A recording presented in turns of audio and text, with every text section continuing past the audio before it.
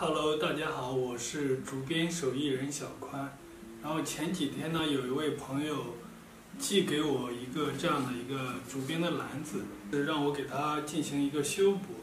就是这个篮子的把手，然后包括这个篮子的身子部分呢，有几处的竹篾的断裂。然后把手呢，这个原原来呢是用这个毛线，是用线和竹篾缠绕的，现在线已经脱落了。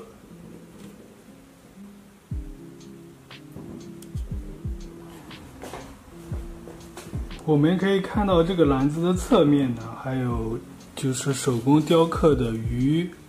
然后包括这个鸟还是凤凰，啊，然后还有一些草的花纹，这个也是代表就是当时的一种寓意，吉祥的寓意的。呃，然后这个篮子的盖儿我们可以看一下，这个篮子的盖子部分呢，还编织了“福禄寿喜”这样四个文字。喜呢，它分为两个部分，围绕在福禄寿，然后三个字周围，然后像像上面呢还有一些符号，呃，然后我们看一下这个篮子的身体部分，主体部分，然后底部呢依然是一个三角眼编织，呃，这个三角眼呢就编的比较细致一些。就是它是在六角眼的基础上，然后穿了三根比较细的面，然后这个六角眼呢，它是用了两根，就是它有一个有有有一个对比，有一个层次，就比较好看一些。然后像这种底呢是椭圆形的，椭圆形的话呢，就是比圆形的底要难得多一些。椭圆形因为它不是非常的规规则。要比圆形或者正方形呢，都比较比较有难度一些。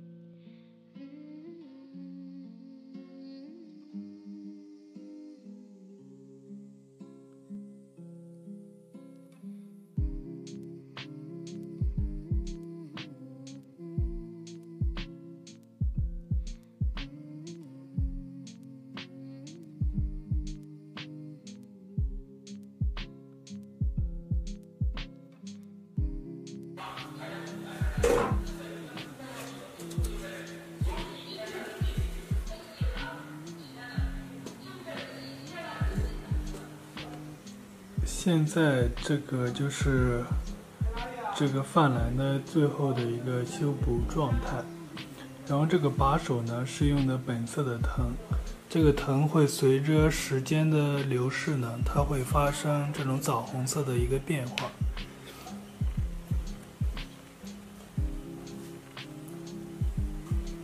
呃，像这个篮子呢，它破损的不是太多。就是它基本的框架还在，只不过是有一些竹篾断裂了，这样修补的话呢会比较方便一些。如果说这个篮子破损的比较大的话，就不太建议去修了。